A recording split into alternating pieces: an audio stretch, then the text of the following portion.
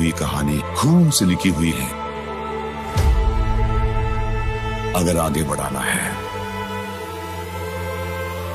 तो फिर से पूनी मांगेगी।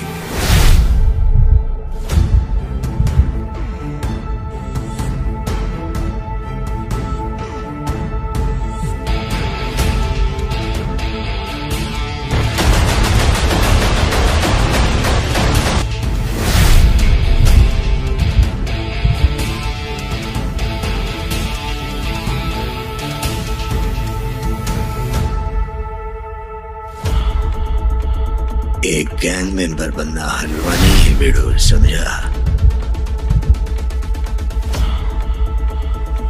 एक गैंग लीडर ही दूसरे गैंग लीडर को मार सकता है।